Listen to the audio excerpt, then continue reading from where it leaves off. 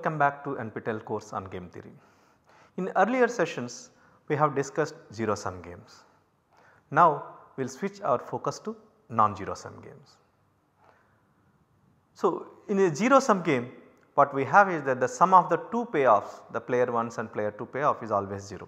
In a non-zero sum games we do not take that and they can be different. In fact one example that we have seen earlier is coordination game which is a non-zero sum games. Let me recall the coordination game first. So what is this coordination game?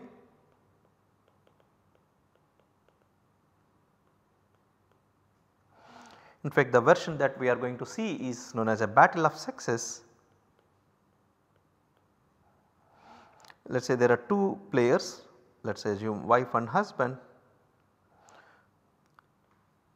So there are two choices one is going to a movie or going to a shopping.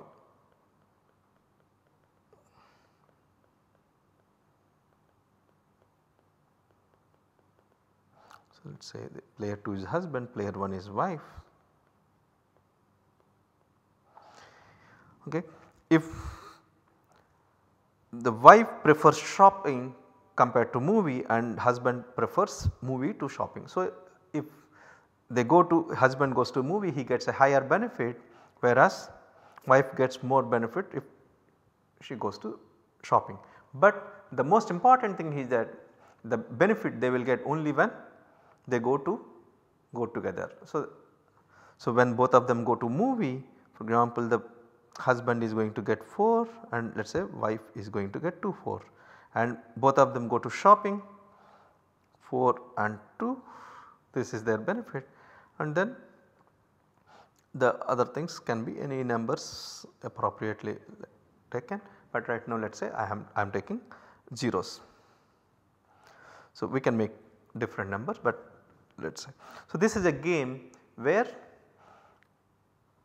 the sum of the payoffs is not 0. This is an example of a non-zero sum game which we have seen earlier. So in fact both going to movie is an equilibrium, both going to shopping is also an equilibrium. So as I have been pointing out since earlier in the game theory the most important thing is that the players are making their decisions simultaneously. They do not know what the other is going to do it. So under that is a very important thing. If both of them know what they are doing it that becomes an optimization problem but the game flavor will be lost in that situation. So here the most important thing uh, once again I elaborate is I stress upon is that they are choosing their decisions simultaneously independent of others that is a very important. So this is a, an example of a non-zero sum game.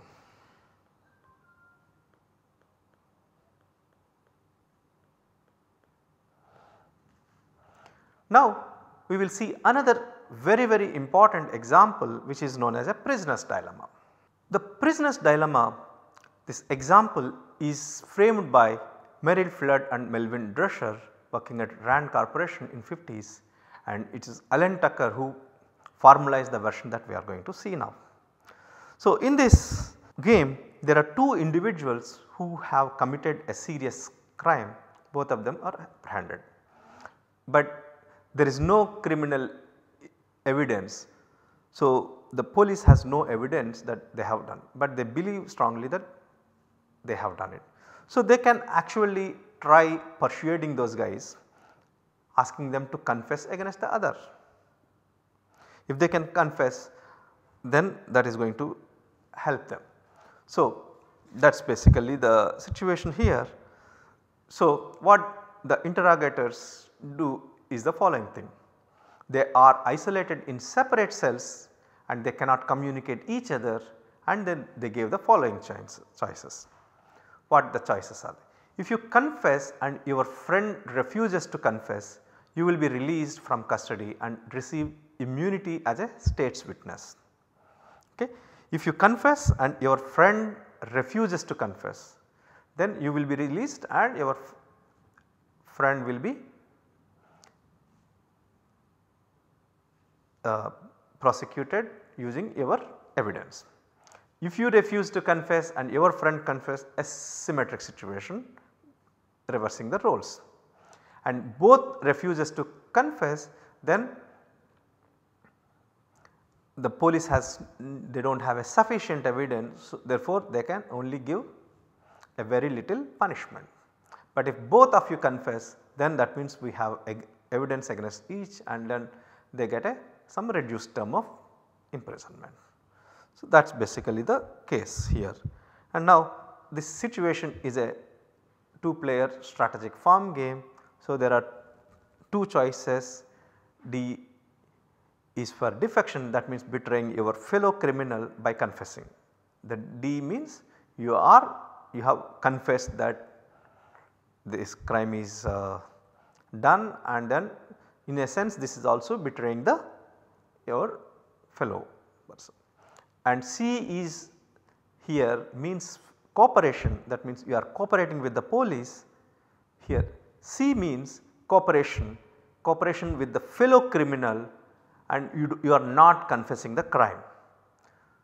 So, this situation you can see it as a picture here.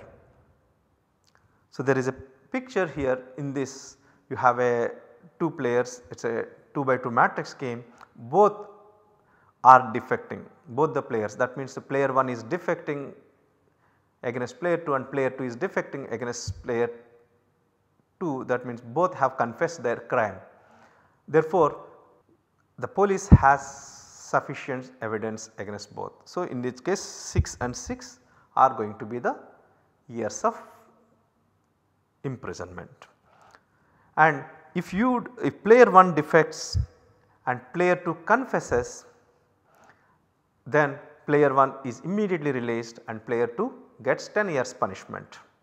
And similarly if player 1 con confesses or here in this case uh, it is a cooperation he is cooperating with the player 2 and player 2 defects the player 1 then 10 and 0 that means player 1 is getting 10 years of imprisonment and player 2 is getting nothing and both are cooperating each other both players are cooperating each other then there is not much evidence for the police therefore both of them get only 1 year of imprisonment. So, this is going to be the situation here. So, if you look at it, so for what is going to be the equilibrium here in this setup. Now remember here people are minimizing because this is a imprisonment. So, this is a cost. So, therefore, uh, so far in the 0 sum games we are assuming the players are maximizers but here we are we have a situation where both the players are minimizing their imprisonment. So, no player would like to get 10 years imprisonment. So, therefore, clearly we can see that 10 0 and 0 10 these are not going to be a equilibrium here we can easily verify it.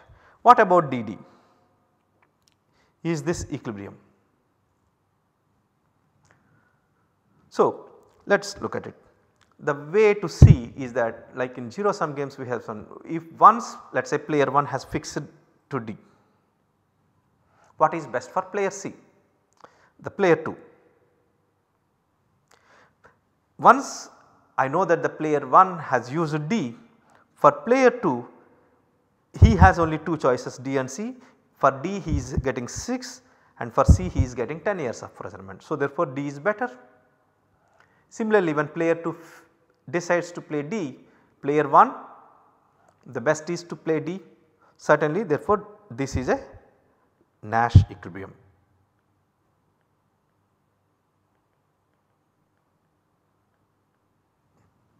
Okay.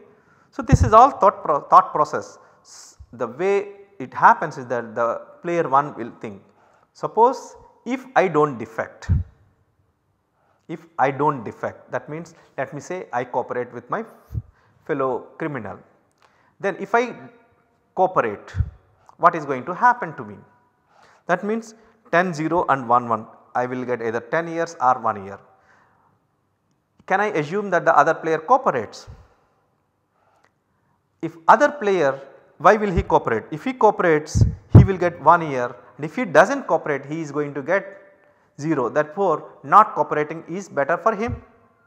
Therefore he will never cooperate. So therefore if I am cooperating I assume that my fellow criminal will also he will never cooperate he will only defect. So therefore for me cooperating is not a good choice therefore defecting is better. The same thought process will be with the other criminal and he will also think the same way and therefore defect happens. So therefore this is essentially what I was telling earlier that about the rationality.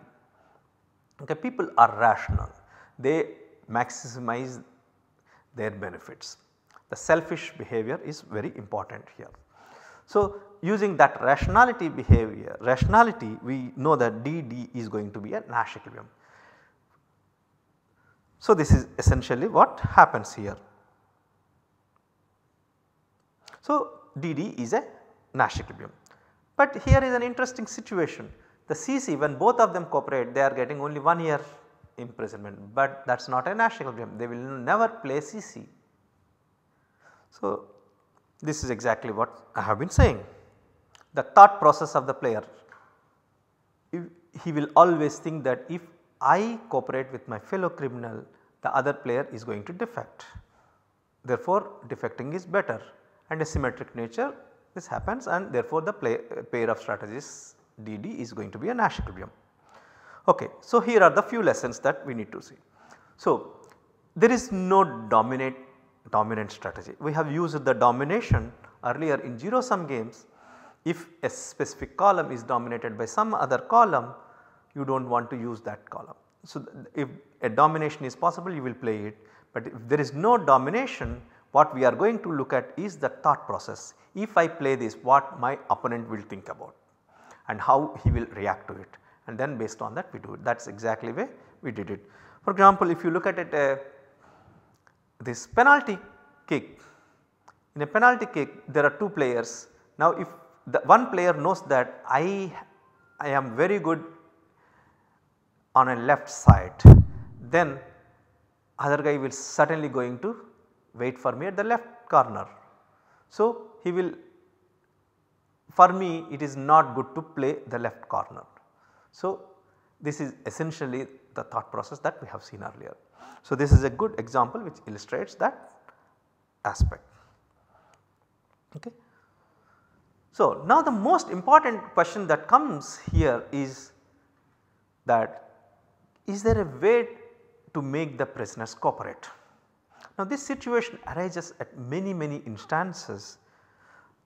So I would like you to think about various situations. One example for example is uh, when two neighboring houses when you look at it when they are cleaning it they try to throw the dirt on the other side thinking that their side is cleaner but other side also will do the same thing the end result is both are getting dirt outside their house. This is a common phenomena that we observe in many many situations. Now in such situations the most important question is how can we get the cooperation. So this is a, a non-trivial question which we may not discuss in this course much, but this is a question that uh, economists, biologists, behavioral economists and several people have been studying. Okay. We will now see another example which is known as a Cournot's duopoly. What is a duopoly? Duopoly is a situation where there are two firms who wants to control the market for a certain commodity. So, we are considering a market and there is a commodity that two firms are selling and they want to control the situation. Now, when there are more than two firms we call it as an oligopoly so, the duopoly is actually to decide how firms adjust their production to maximize their profits. The duopoly problem is studied by Cournot very very long back 1838. His work can be seen as a precursor to Nash equilibrium. So, sometimes in economics the Nash equilibrium in particularly in this oligopoly framework they call Cournot-Nash equilibrium. So, let us look at how this is. There are two forms 1 and 2. they are producing some product and they sell the product on a same market. Both of them are operating in the same market. The price of the product decreases proportionally to the supply. So, let us assume Qi is the number of items produced by company i. Q0 and P0 are the highest reasonable production level and highest possible price. Price when the total quantity produced is Q that is Q1 plus Q2. So, when firm 1 is producing Q1 and firm 2 is producing Q2 the total quantity available in the market is Q1 plus Q2 which let me say this is Q written by Q. Now the price when the total product available in the market is Q that is given by P of Q which is given by P0 into 1 minus Q by Q0 that is this. So if the quantity Q increases then this becomes this reduces therefore price reduces and if quantity available Q is smaller the price increases. Now if the product available the quantity available in the market is bigger than Q naught the price is going to be 0. This is one of the very simple example of a price quantity. We assume the, the cost of producing a product is C and we assume that in fact it is not assume the price of the product can never be less than the marginal cost. So therefore P0 less than or equals to C is a meaningless thing. So therefore we always make sure that P0 is bigger than C. Now strategies of each firms now are Q1 and Q2 both can be taken from the interval 0 and Q naught 0 is the least that they can produce Q0 is the maximum they would like to produce. So therefore both the firms have same possibilities. So Q1 and Q2 they will choose simultaneously and what are the pay payoffs? If firm 1 is choosing Q1, firm 2 chooses Q2, the price of the product is P of Q and a firm is producing Qi therefore his profit is going to be Qi into P of Q and he also incurs a cost that C into Qi. So, we reduce that. So, therefore, this is going to be the payoff function of the firm i. Once we know this one now we are in a game setup. So, therefore, there are two firms they are making their decisions and they have a payoff functions. Now each firm's objective is to maximize their profit. So what exactly will they do? So let us do this one. So as I we have been doing it earlier we look at what is known as a best response. When player 2 here player 2 means form 2, form 2 let us say he decides a strategy Q2 then what should form 1 do? So let us assume that when Q2 is produced by form 2 let us say Q1 hat is going to be the quantity that firm 1 is going to produce and this Q1 hat should maximize the profit. So what it means is that this Q1 hat should be maximizing the firm 1's profit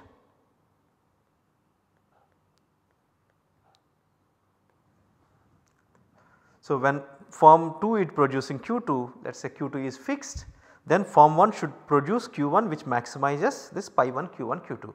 Now if I look back this the profit function is given by this one. So I will write it here again pi 1 Q1 Q2 is nothing but P1 of Q into Q1 minus C into Q1. So, P1Q is, a, is the price curve that is given in the previous slide and this is going to be the profit that player 1 is getting. So, player we are looking at the maximization. So, we use the first order derivative with respect to Q1 and equate it to 0. If you equate it to 0 so, what you are going to get is P1Q plus Q1 into the derivative of P1 with respect to Q1 minus C you calculate that you do and then equate it with 0 then you are going to get this much. So, this is a simple calculus which I have not done and in a similar fashion if you look at the firm 1's decision and let us say it is fixed at Q1 if firm 1 fixes at Q1 firm 2 will produce Q2 hat which should maximize the his profit and then if you do the same analysis with pi 2 Q2 hat is going to be this was. Now the another very important point we have done only the first order analysis that means the gradient is equals to 0. Then uh, how do we know that if the differential is 0 then it need not be maximizer. The corresponding critical point need not be maximizer. But in this case what is going to happen is that if you look at the price curve, price curve is a linear price curve is linear in Q and the profit if you look at it it has the product terms Q1 into P1Q minus CQ1. You can actually verify that this is a convex in the variable Q1 similarly the profit of player 2 is also a concave in the play in the profit in the decision variable of player 2. Therefore, the concavity together with the first order conditions will ensure that the Q1 hat and Q2 hat that we have got here is going to be the maximizers. Therefore, if when player 2 fixes to Q2, Q1 hat is the maximizer of the firm 1's profit and similarly when Q1 is fixed by firm 1, Q2 hat is going to be the maximizer of the firm 2. Now what is an equilibrium? Equilibrium is such that Q1 star and Q2 star is the equilibrium such that when player 2 fixes at Q2 star Q1 star should be the best response to Q2 star. Similarly, if player 1 fixes at Q1 star, Q2 star should be the best response. So, such a thing Cournot equilibrium it is called and of course in the modern language this is a exactly a Nash equilibrium and that this is the reason why it is also called Cournot-Nash equilibrium. So, what we get here is that we need to consider the following thing the equations are the following thing q1 hat of q2 star should be q1 star. Similarly q2 hat of q1 star this should be q2 star. These are the conditions that we have and if you rewrite those conditions if you put the q1 hat functions thing you are going to get these equations. Okay, these are two equations and q1 and q2 are unknowns here and if you solve these things what we get is exactly this. The q1 star and q2 star are given by q0 by 3 into 1 minus c by p naught and under this the payoffs are also going to be exactly same. Pi 1 q1 star q2 star is same as pi 2 q1 star q2 star which is given by this. So, th this is a Cournot duopoly. Of course, the same problem one can actually do with instead of 2 firms some arbitrary number of firms multiple firms then it is an oligopoly we can start doing it. Now this is an example where the firms are deciding the quantity to produce but it is exactly similar model where the firms are going to determine the price rather than the quantity. So that is known as a Bertrand model. So, in a Bertrand model the strategies are not the quantities but prices and the, quant the firm with a lower price captures the market. This firm sells the whole product and second one sells nothing. In case of equal prices the firms share market equal. So, the demand function now is if the price is fixed the demand function is given by q of p which is nothing but q naught into 1 minus p by p naught. If the price is higher the quantity that they are going to produce will be small and if the price is small they will produce higher. So, that is exactly captured by this demand function. Okay. And the payoff functions will be simply if P1 and P2 are the prices chosen by the firms it will be P1 minus C into QP1 is going to be the profit when firm 1 has a smaller price if both the prices are same they share if the price is higher. So, there is a small mistake here this is not p plus 1 this is a p1. If the price is going to be higher then of course the firm 1 is not getting anything. Similarly pi 2.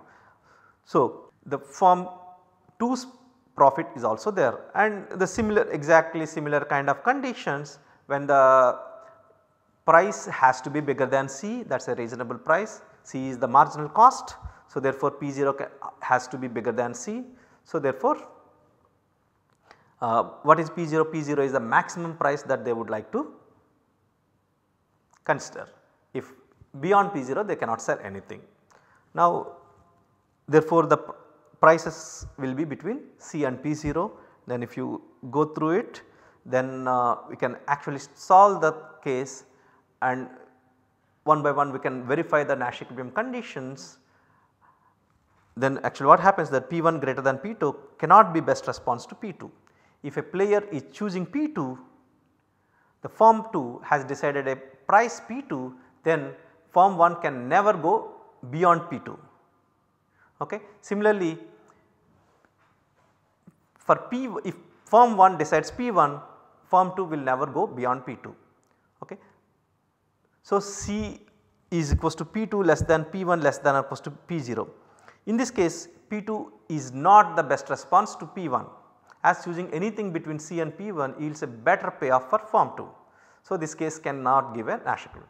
So, likewise you can analyze all the situations and would like you to work out the details of this Nash equilibrium and you compute the Nash equilibrium in this setup. You will get a different framework than the Of course, there are a lot of differences between this Cournot and Bertrand we will not go into those aspects we only give these as a, an examples of non-zero sum games. So, with this I will stop this session and in the next session we will formally define the Nash equilibrium and by uh, non-zero sum games and we proceed to prove the existence of Nash equilibrium.